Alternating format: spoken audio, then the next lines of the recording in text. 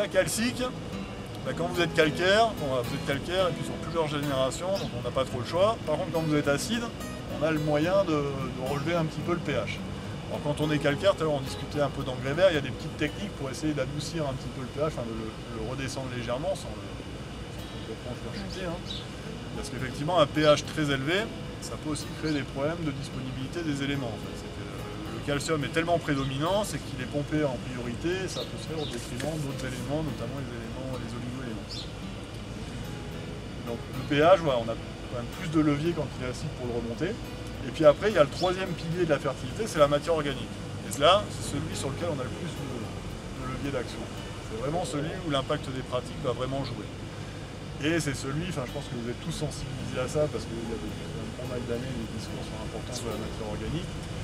La matière organique, elle a, déjà, c'est plutôt les matières organiques du sol, hein, parce qu'il y a des matières organiques structurantes qui vont faire de l'humus, il y a des matières organiques libres qui vont faire des éléments minéraux. Dans les matières organiques, on a aussi des, organismes vivants transformer comme ça la matière organique.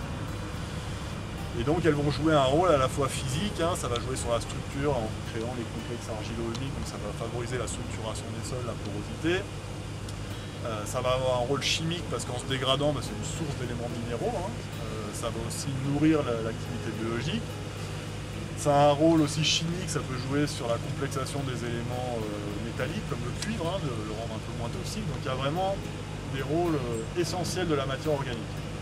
Alors à quoi, comment est-ce qu'on évalue? Donc on a l'analyse potentiellement, et puis après sur le terrain, ben, c'est quoi? C'est pas mal la couleur aussi. Hein.